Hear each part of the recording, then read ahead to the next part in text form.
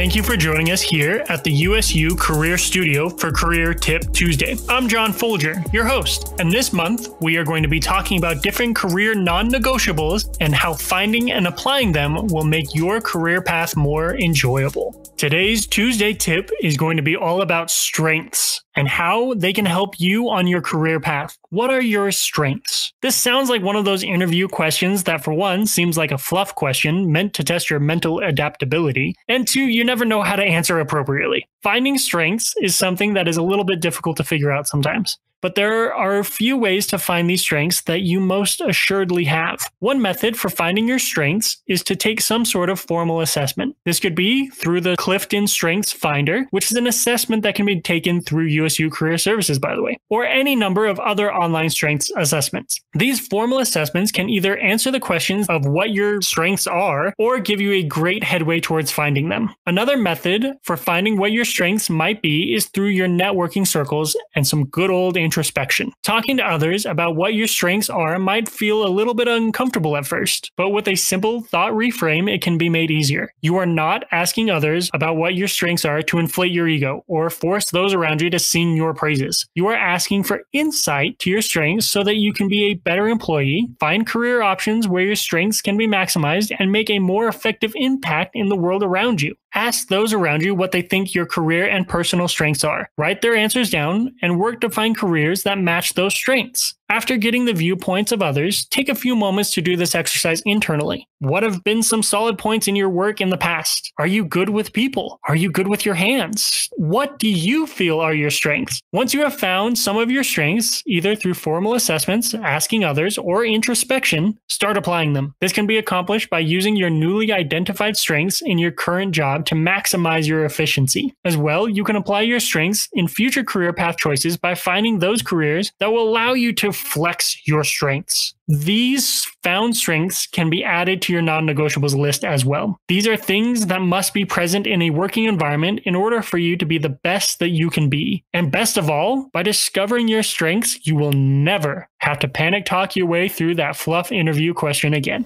Thank you for joining us at the USU Career Studio for Career Tip Tuesday. Please don't forget to tell your friends about this podcast and to subscribe on YouTube to get all of the newest Career Tip Tuesday episodes first. Please join us next week as we continue giving you tips to improve your career path.